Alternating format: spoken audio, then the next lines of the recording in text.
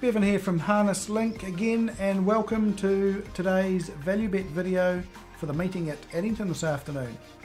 All opinions are my own and make sure you always bet to within your limits.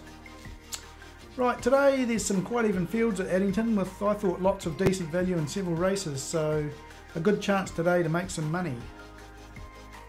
Let's go to race four first and a pacer who I think hasn't had much luck is ticking over. If you go back through his races, you can see he's been unlucky several times in strong fields, and today, even though the draw is not great, I thought he could sneak a place at longer odds.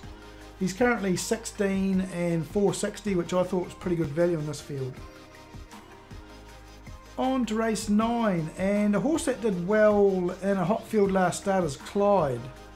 I like the money about this guy. He's currently at 850 and 290. There's a bit of money coming from him. He opened at 10 and I thought the draw suits. I thought if he could stay handy, then he's a big chance of winning race 9. Okay, let's go to race 10, and there's a horse here I think is going to appreciate the um, conditions of this race, the standing 2,000 metres. Pinecone. Now, he begins like a rocket, and I think he should be in or near the lead throughout. Uh, he's paying pretty good money, he's 15 and 450 for the place which is pretty good value. And with a bit of luck, I thought he could run in the top three in race 10.